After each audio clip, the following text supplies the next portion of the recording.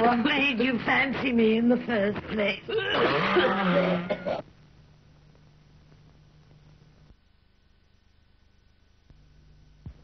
Virginia in the red box, Menthol in the green box, and you in the black box.